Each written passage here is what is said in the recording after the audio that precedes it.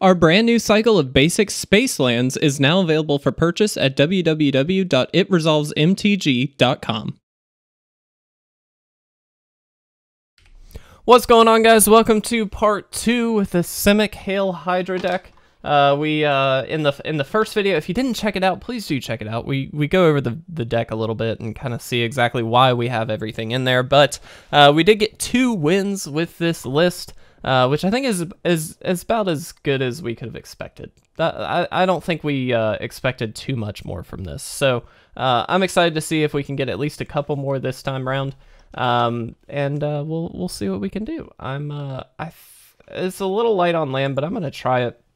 I do think the land count in this deck is a piece that we could be doing a little better in, but uh, ooh, guys, hold on. Our frame rates are dropping. We're gonna we're gonna drop out and jump back in. Um, I, it's gotten better actually recently, but every once in a while it still creeps in where we've got the bad frame rate issues. So I am just going to drop out and jump in.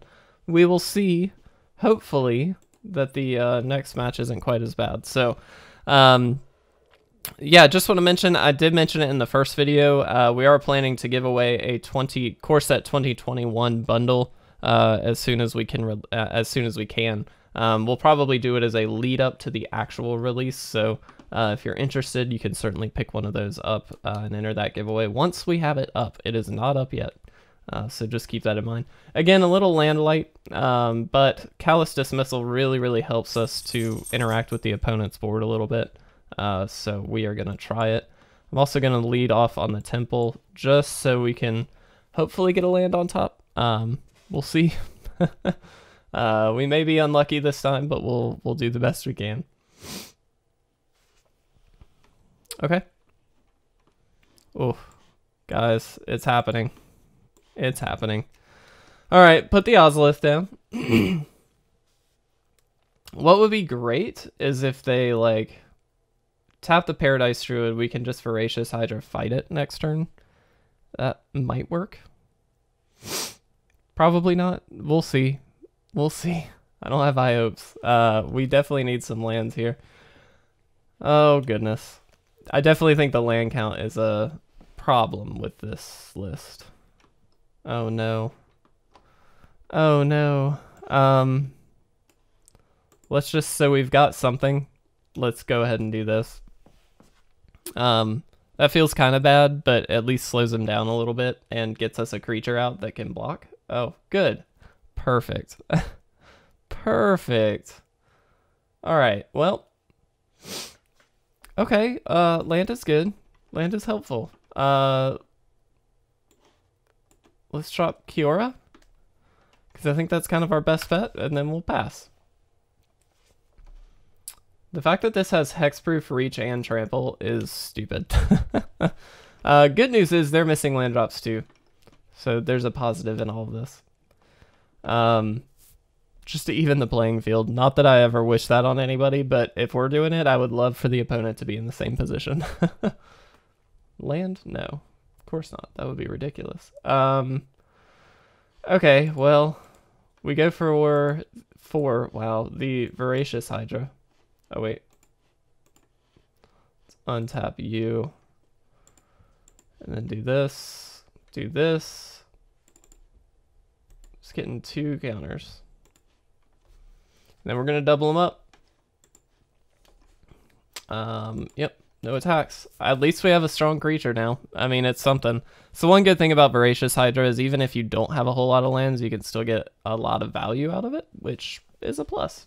Um, uh, it's hexproof whenever this creature... That's interesting. Um, that's like surprisingly good right now. Uh, Oh, wait, we can't target it. Just kidding. It's not as good as I thought it was. Um, okay, so let's attack first. Then I think we may just end up making the same play again. Um, it's not super exciting in terms of plays, but like it's a play, so we'll just do this. It at least gives us two of these four fives that they're going to have to fight through. So there is some positive there. All right. Sure, that's fine.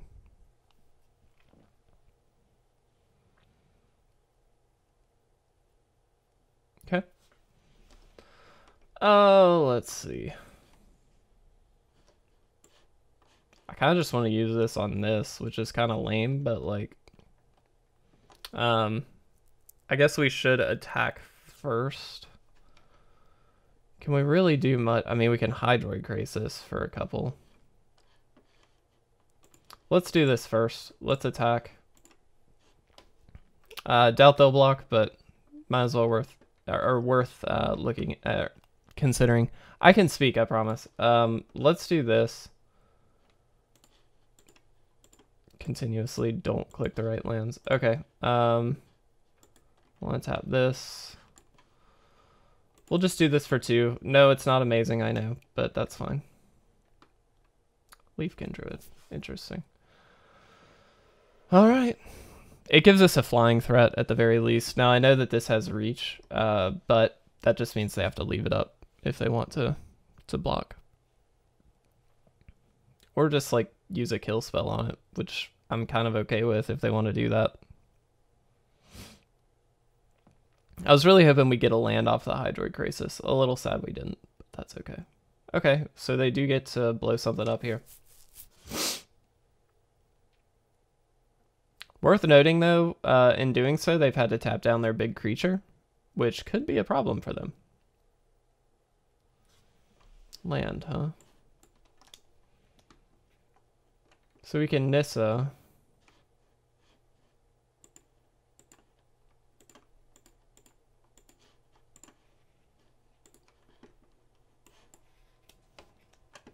Let's do that.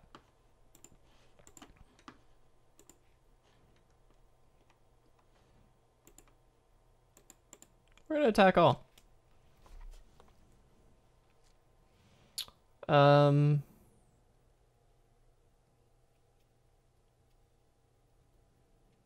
They are probably going to get to mutate onto the Gemrazer again uh, and blow up a creature, but Nissa really, really helps to make that not quite as strong.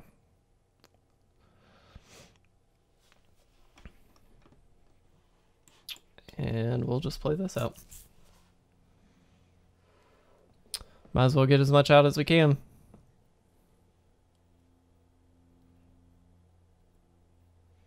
See what they can do. I'm liking this deck though, I will say. It feels pretty good. Uh, I mean, you, you'll notice without that many lands, we're still able to get here. It took us a while, um, but we're still able to get to a point where we're... Our board presence is very good. Um, this is a problem, uh, but probably not enough to... I would have killed, I think, the Hydroid Krasis. Well, the Voracious Hydra has Trample, so no, that makes sense. Um, but this has Flying, so... Yeah, okay. Cool. Well, we got there. Uh, that was a bit of a, uh, a long match for a long game just for what actually happened, but that's okay. Uh, let's go ahead and jump into game two here. Um, I just want to mention also to everybody, uh, if you're not already in our Discord, I would certainly appreciate it if you would go uh, to the link down below and join in. Uh, we've got a really, really great group of people in our Discord. Um, it's fun to hang out with them. I don't always get to participate because I'm usually either working or recording, but uh, it's really, really nice to to talk to some people in there from time to time. This hand's kind of bad. Um, better. Dovin, I think, goes back. Um, it's a really great place to just kind of hang out with some like-minded people and you know talk about magic and talk about new spoilers you know whatever uh, so it's a it's a really fun fun little place to hang out it's open to everybody uh, anybody that that's watching you're more than welcome to join you don't have to be subscribed to the channel or anything like that uh, of course we'd appreciate it but you certainly don't have to uh, and so if you're interested please do check it out we'd we'd appreciate the uh, the community support it's great to talk to other people and hang out and discuss magic and all that kind of stuff. It's fun. So. Oh, let's see. Next turn, what are we looking to do? Depends what they do this turn, really. Leafkin Druid, kind of surprisingly good right now. Um, If they attack, we don't block. If they try and kill that, okay. That's kind of fine. It's not great, but it's fine.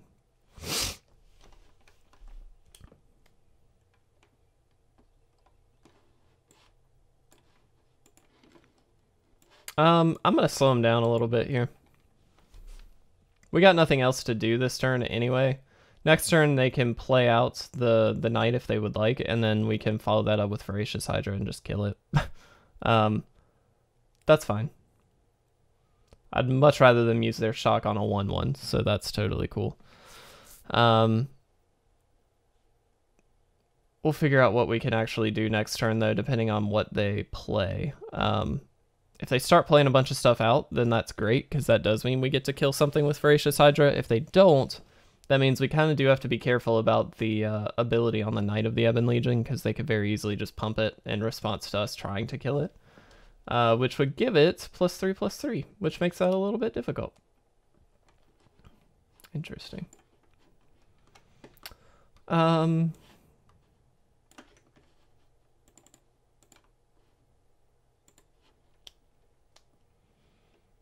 so in this case, I'm not sure which we actually want to fight.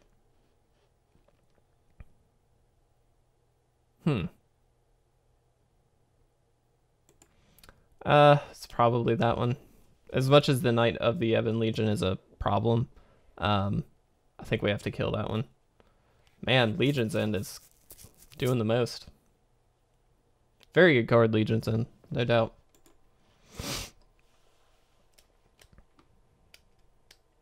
Good news is they can't pump this this turn. So at the very least, you know, we'll be able to get Nissa down and then uh, push some stuff out there. Uh, Bioessence Hydra is also hopefully going to be pretty good, but we'll see. Um, our goal with it against a deck like this is slow them down uh, as much as possible. Thankfully, we've been able to do that so far, uh, which is great. But obviously, that's not always the case. Uh, we're just going to do this, and we're going to attack here. I'm using the island here mostly because I don't want the forest to be susceptible, like the breeding pool, for instance. I don't want the breeding pool to be susceptible to a removal spell um, because we're very heavily dependent on the green. And so I'd rather be a little more careful with that. Um, if we need to block, I'm much more apt to blocking with an island uh, than I am a breeding pool because we lose our second green source. Oh, okay. That's fine. I, I mean, again, this is why we did that, is so we didn't lose a forest. Um, but they can't kill anything this turn, which is good. Let's do this. Um, I'm actually going to keep that. It's a little unexciting, but I'm going to keep it. Um, let's do this. Let's untap this. And then let's Bioessence Hydra. So now we're getting to the point of the game where we are hopefully going to start taking over.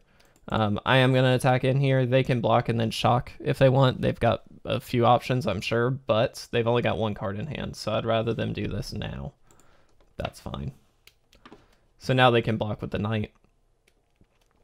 Um, but now it's a Bonecrusher Giant against a Bioessence Hydra that's an 11-11 and a Nissa and we have a follow-up Bioessence Hydra. so, feeling okay, uh, if I'm honest. uh, we'll enter it tapped. Let's do this. Let's play another Bioessence Hydra. Um, and there we go. There's the concede. All right, we got there. That felt much cleaner. That was a much better uh, showing from this deck, so I really, really liked that. All right, Cool. So we've gotten two wins so far. Let's jump into game three. Well, let's see what our reward is. Hydra's Growth. Man, I did not already have four of those for sure. Let's jump into it. Uh, last game with this deck.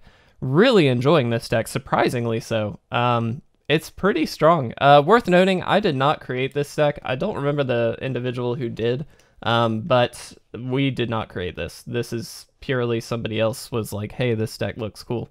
Um, I think we kind of have to mulligan that. This we can keep. We can put a Gargos on the bottom here.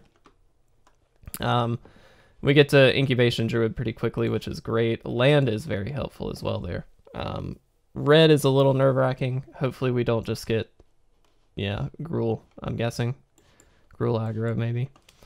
Uh, though they didn't play anything yet, which is good. Uh, they could just Bonecrusher or something here, though. Wait for it. There it is. Who called it? Who called it? When you know, you know. When you know, you know. Um, okay. Yep. Well, that's certainly not good for us, but uh, worse things have happened. We'll pass here. We're going to take a hit. Um, the Voracious Hydra is actually really nice because eventually we just fight off this Bonecrusher. So like we do have a an end game here. Oh, end game Hail Hydra. Oh, look at that. Um, so my question is, do we just play this out on the back of it probably is going to be good enough, or do we just wait? Um, I kind of want to stave off an attack or beta removal spell, so what I'm going to do is play this for two. Uh, we're going to auto pay. So then this will double the counters on it, and that just gives us a blocker here. Um, the reason I'm doing this is so that either they, you know, have to kill this, or we have, or we just get a creature that can block effectively against what they're doing. We do have to conserve our life totals, so I think doing this now is a little bit better. Um, despite the fact that we've got like a Gargos in hand and stuff like that, because obviously that would be amazing, but unfortunately I don't think we can get there this time. I don't think we can wait, I should say. Uh, again, I'm going to do the same thing where we'd use the island instead, uh, mostly because I'm expecting we're going to have to kind of block here. Um, I am not going to attack. Playing a little bit defensively, but I, I do think that that's pretty important right now.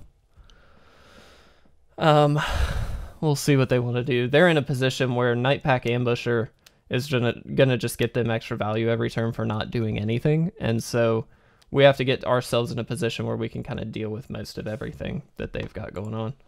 We'll of course tap this first, but not gonna matter.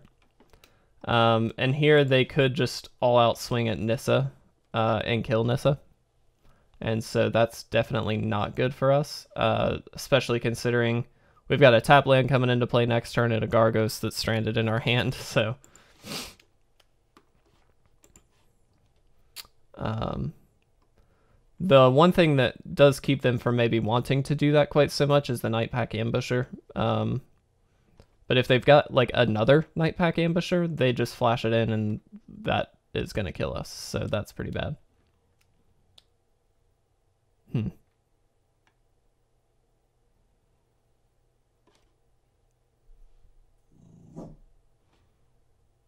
Okay. Interesting. Um, let's try and get rid of this Bonecrusher. I don't know if this is 100% correct. My guess is they've got, you know, a removal spell of some kind. They have to. A shock would do it. Ah, yeah, okay. Yep. Uh, if they do, I mean, they've got plenty of options. They could still get rid of Nissa as well. Not good, not good. Yep. And that's going to do it. Uh, not good for us. Definitely in a bad position. That's not a very good draw for us at the moment. That's terrible. You know, the more I play with the Ozolith, I want to talk about this. The more I play with the uh, the Ozolith, the more I'm really just disappointed in how not great it is. Um, and maybe that's incorrect. Maybe that's just me not getting it or playing incorrectly or something like that, but it just does not seem very good. Um, it's very good in specific situations, maybe, but like nine times out of ten, those situations just don't happen. um, and that's kind of bad. Uh, that's, I think, really terrible, but um, we just kind of lose here, right? We can play this, but we just get swung out for a bunch. So, all right, I'm going to go ahead and concede. Let's sum up this deck really quick. Um, first of all, uh, this deck I don't think is meant to be like tier one at all. Uh, I think it's just meant to be kind of a fun deck. Uh, it's meant to, you know, highlight Hydras a little bit, and I think it does that pretty well. Uh, we we got to play with Bioessence Hydra as like a 12-12. We got to play with Voracious Hydra, uh, just kind of clogging up the board and killing stuff. We got to play with Gargos, like lots of really good Hydras, which was fun. And I, I love seeing uh, like an archetype that's not necessary, or a tribal synergy that's not necessarily the most supported thing in the world, pushed to the forefront just a little bit, just to see how it's going to do.